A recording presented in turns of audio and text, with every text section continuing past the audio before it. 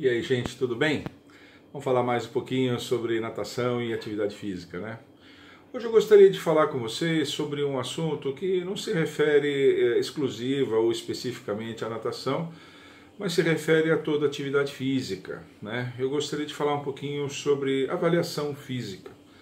O assunto parece meio batido, meio pacificado, mas tem algumas coisas importantes que eu gostaria de colocar e que eu, e que eu não vejo por aí.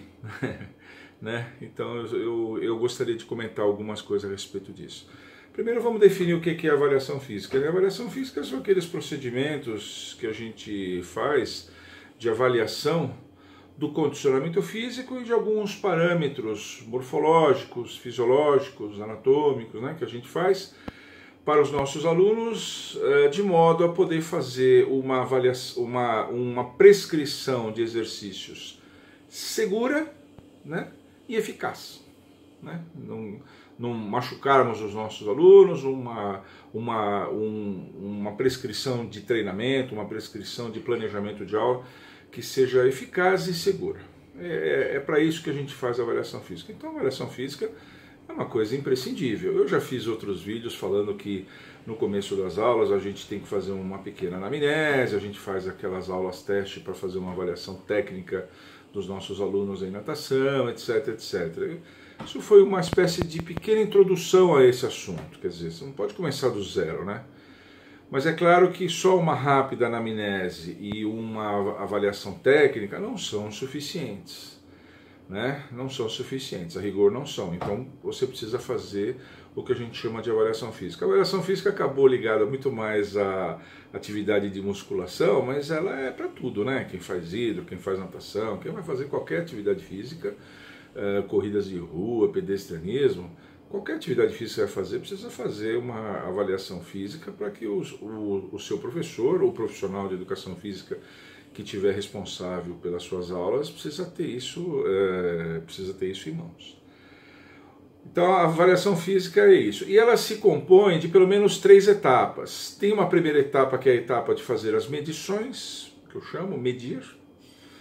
Depois vem uma segunda etapa que é avaliar, ou seja, interpretar esses dados que foram mensurados. E depois a terceira etapa que é fazer a prescrição prescrever. Né? Então é medir, avaliar e prescrever. É, é assim que se faz a avaliação física. Uh, agora, a gente tem que ter uma. A gente, eu, eu, sinto que a maioria das pessoas, inclusive profissionais de educação física, tem uma visão um pouco equivocada da avaliação física. E acho que a melhor maneira da gente colocar as coisas nos seus devidos lugares é fazermos uma comparação com exame, os exames médicos, os exames clínicos de laboratório que o nosso médico pede quando a gente vai ao médico. Você vai no médico, você não está bem, você vai no médico.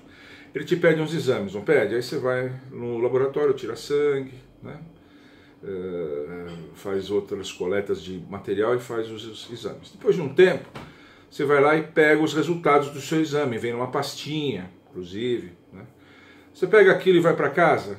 Se automedicar? Não, né? Você faz um retorno, você volta no médico, aí o médico vai fazer uma avaliação daquilo que está ali, aí ele vai fazer uma avaliação. E aí ele vai fazer a prescrição. Ele vai prescrever o tratamento que você precisa fazer. Pode ser um tratamento medicamentoso, fisioterápico, cirúrgico, sei lá o que, que precisa fazer. Não é isso? Com a avaliação física deveria acontecer algo rigorosamente análogo. Ou seja, você faz uma avaliação física, vai no avaliador, o avaliador vai fazer uma série de medições. Vai tirar o seu peso, a sua altura, vai tirar dobras cutâneas para fazer uma avaliação da sua composição corporal, vai fazer uma anamnese para saber dos seus hábitos, dos seus, né, da, das suas rotinas de vida, das suas, das suas expectativas, o que, que você quer com a atividade física, essa coisa toda, né? É, vai, vai fazer um teste ergométrico, vai fazer uma série de medidas e vai dar uma pastinha, não vai? Vai dar uma pastinha. Essa pastinha não é avaliação física. Não é. Essa pastinha são as medidas que foram feitas. Da mesma maneira como você vai no laboratório e pega os seus resultados de exame. Se você abrir uma avaliação física, abrir um resultado de exame, você vai ver que tem lá os resultados e esses resultados, inclusive, são comparados com parâmetros internacionais, com valores de referência nacionais ou internacionais, para saber se você está na normalidade, se está acima, se está abaixo e tal. E tem lá as conclusões, aquela coisa toda e tal. Mas ainda aquilo é só o resultado das medições. Você não pode pegar um exame eh, de laboratório e fazer uma automedicação. Não pode. Então, para nós é natural fazer o retorno do médico e ouvir a avaliação do médico. A avaliação física deveria acontecer algo rigorosamente igual. Aquilo que você pega não é avaliação física, são só as medidas, o seu peso, a sua altura. Tá, já está dividido, classificado de acordo com uh, os valores de referência, se está alto, se está baixo, se está bom, se está ruim, mas, mas isso é uma coisa. Avaliação física é muito mais do que isso. É muito mais. O profissional de educação física vai pegar essa pastinha e aí ele vai fazer a avaliação física. Ele vai ler junto com você e vai fazer. Pode ter parâmetros da mesma maneira como nos exames de laboratório que estão meio fora do, dos valores padrão, dos valores de referência, mas eh, mas ele pode achar que isso não é importante. Não, isso está um pouco fora, mas para uma pessoa da sua idade isso é assim mesmo. Sua pressão está um pouco alta, mas para uma pessoa da sua idade isso é assim mesmo. Você está acompanhando isso? Tá, então isso é assim mesmo.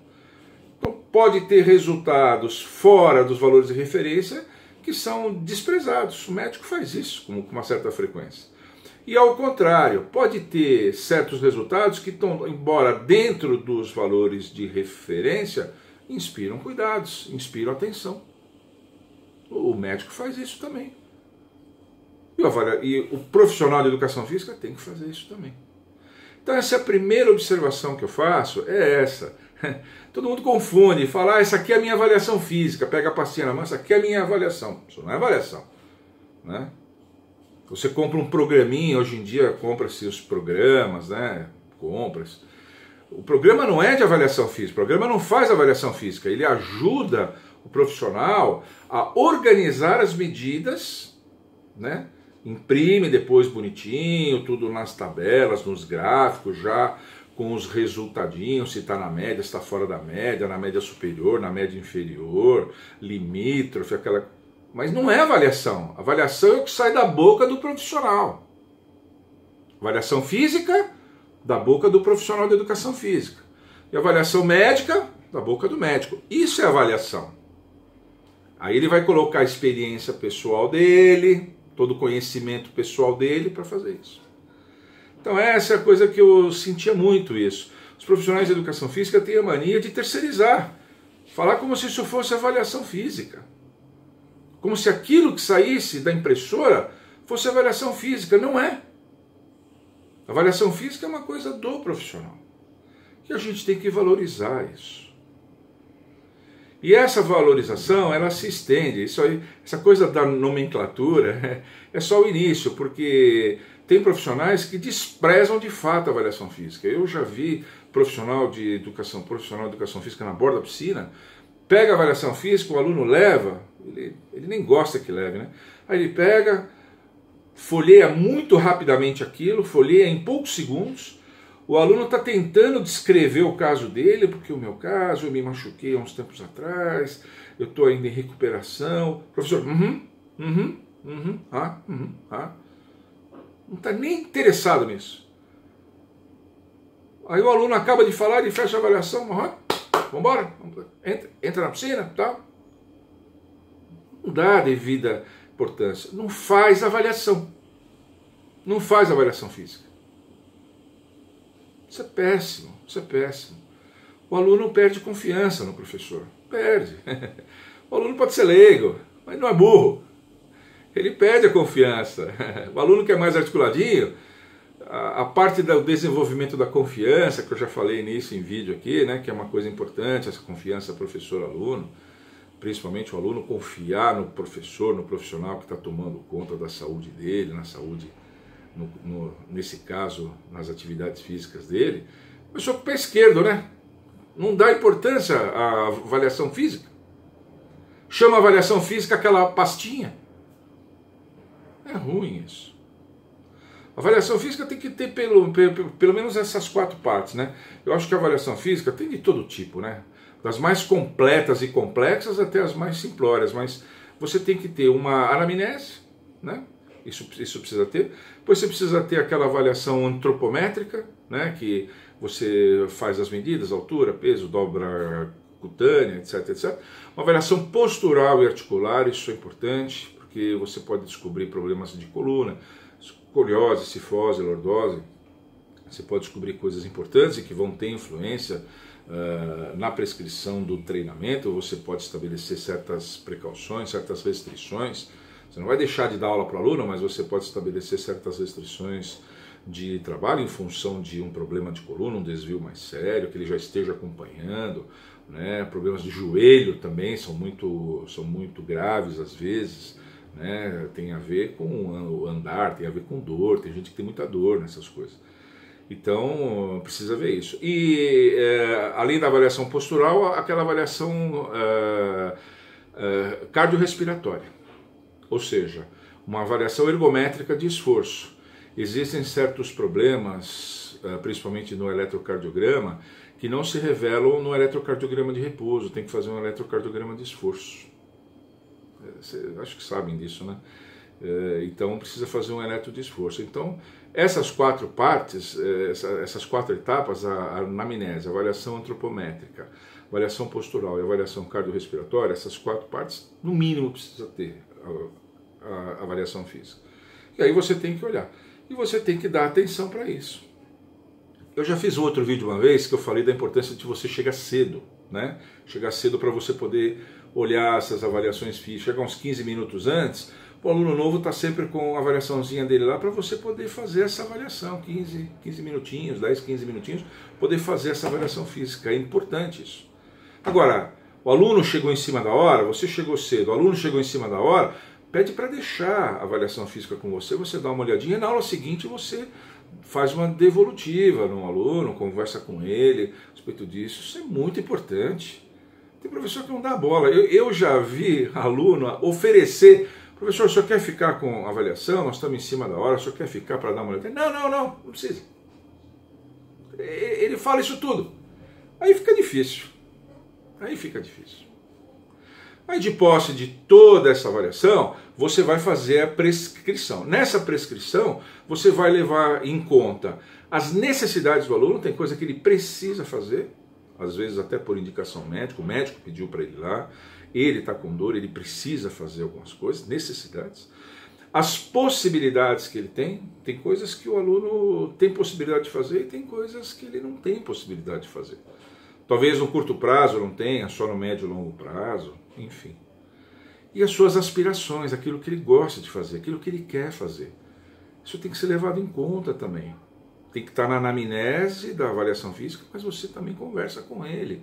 Detalha um pouco isso para você exatamente naquilo que o aluno quer. Isso é importante para motivar o aluno, para fidelizá-lo nas aulas. É importante fazer isso, né?